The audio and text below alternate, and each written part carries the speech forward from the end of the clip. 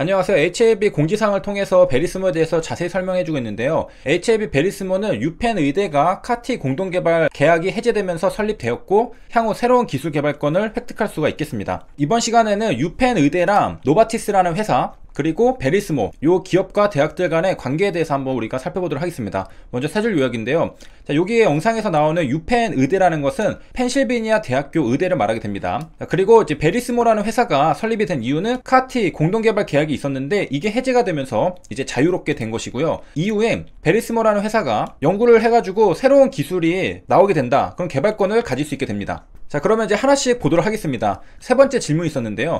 베리스모 테라피틱스는 2020년 6월에 설립된 신생 기업입니다. 자, 여기에 170억을 투자한 것에 대해서 설명 부탁드립니다. 2020년 6월이니까 아직 설립된 지 1년도 되지 않았습니다. 굉장히 최근에 만들어진 신생 기업이라고 볼 수 있겠는데요. HLB에서 어떻게 딱 잘 발견해가지고 기업의 지분을 취득을 해버렸습니다. 베리스모 테라피틱스 기술은 이미 전임상 마무리 단계에 있는 기술이다. 다음에 임상 1상을 이제 들어갈 수 있겠습니다. 그래서 파이프라인이 4개가 있는데 이 중에 2개는 가까운 시기에 이 전임상을 완료하고 일상 IND 준비에 들어갈 수 있는 수준에 있다고 합니다. 조만간 임상 일상을 진행한다는 소식을 우리가 들을 수가 있겠죠. 자, 그런데 베리스모 테라피틱스가 가지고 있는 플랫폼 기술은 KIR CAR라고 하는데요. 자, 요게 논문은 2016년에 전임상의 주요 실험들을 진행해서 논문은 이미 나왔고 2017년에는 미국, 이탈리아, 스페인 등 주요 국가들에서 특허를 획득했습니다. 그러니까 벌써 4, 5년 전에 논문들도 나왔고 특허도 있는데 지금 2020년에 새로 설립이 됐거든요. 그래서 기간이 한 4, 5년 있잖아요. 그 term이 왜 나느냐?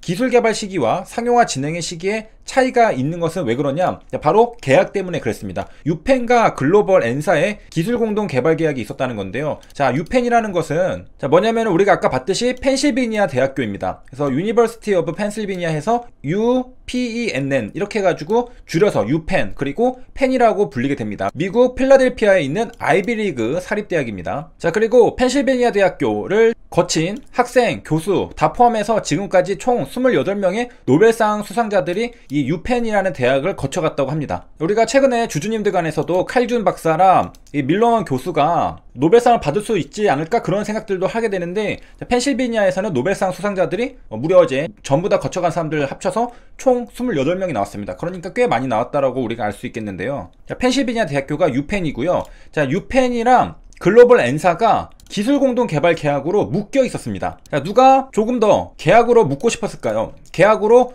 묶어가지고 우리들끼리만 개발하고 싶었을까요? 바로 글로벌 엔사가 되겠습니다. 글로벌 제약회사인데 우리가 이렇게 연구를 많이 하고 임상시험을 하고서 신약 개발하고 있는데 유펜이 다른 기업이랑 협력을 하게 되면은 글로벌 N사는 낙동강 오리알이 될 수도 있잖아요. 그렇기 때문에 다른 데는 하지 마라. 기술 공동 개발 계약으로 묶어 놨었습니다. 물론 반대로 유펜이 글로벌 N사가 다른 데로 갈까봐 또 묶어둔 걸 수도 있겠지만 어쨌든 둘이 같이 기술 공동 개발 계약으로 묶여 있었습니다. 그래서 따로 할 수가 없었던 거죠. 그래서 2019년까지 유펜의 CAR-T 연구소는 글로벌 N사랑 항암제로 이용되는 CAR-T 개발을 공동으로 진행을 해야 됐습니다. 그러니까 개별적으로 진행할 수 없게 계약으로 묶여 있었기 때문에 자유롭지가 못했다는 거죠. 그리고 CAR-T 기술에는 KIR CAR 역시도 계약이 적용되는 기술이었다고 합니다. 그러니까 CAR-T에서 조금 더 업그레이드한 게 KIR인데 자, 이것도 묶여있기 때문에 따로 개발할 수가 없는 상태였는데요. 자 그러던 와중에 2019년 말에 바로 계약이 해제가 됩니다. 계약이 해제되니까 UPenn에 있는 교수들, 박사들 전부 다 자유로운 몸이 됐잖아요.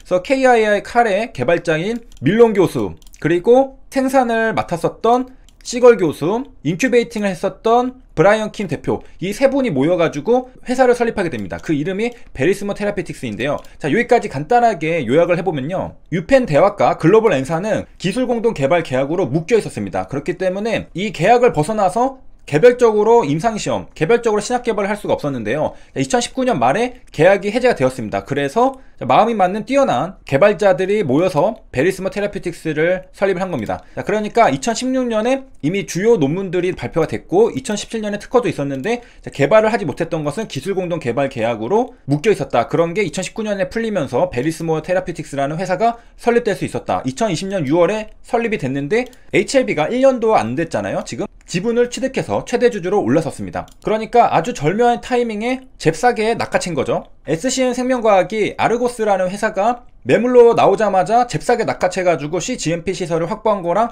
비슷하다고 볼 수 있겠습니다. Verismo Therapeutics의 요 인력들을 보면은 Kymriah 개발자들이거든요. 그렇기 때문에 굉장히 탐나는 인력들인데 이런 인력들이 있는 회사를 HLB가 선침해 해버렸습니다. 지금 Verismo Therapeutics의 인력들이 UPenn 대학에서 나온 박사들, 교수들이잖아요. UPenn과 Verismo Therapeutics는 어떤 관계인가요? 우리가 역사를 보면 됩니다. Kymriah 개발자들이라고 했잖아요. 자, CAR-T 치료제가 시작이 되었고 최초로 나온 게 Kymriah인데요. 이 분야의 시작은 UPenn의 칼준 박사, 밀론 박사 팀에 의해서 만성 림프구성 백혈병 환자를 대상으로 한 임상이 처음 시도가 됐는데요. 이것을 눈치채고 Novartis에서 인수해서 2017년에 최초로 승인받은 게 Kymriah입니다. 여기 앞에서 글로벌 N사라고 했지만은 사실상 Novartis를 언급하는 거라고 볼 수가 있겠고요. 자, 그러니까 한마디로 Novartis와 협력해서 Kymriah를 개발했던 UPenn 대학의 박사들이 만든 회사가 Verismo Therapeutics입니다. 그래서 자 기원은 UPenn에서 Verismo Therapeutics가 나왔다. 이렇게 볼 수 있겠습니다. Verismo Therapeutics의 엄마죠. UPenn에서 나왔습니다. 자, 그래서 모든 것의 시작은 UPenn에서 나왔기 때문에 UPenn 의대는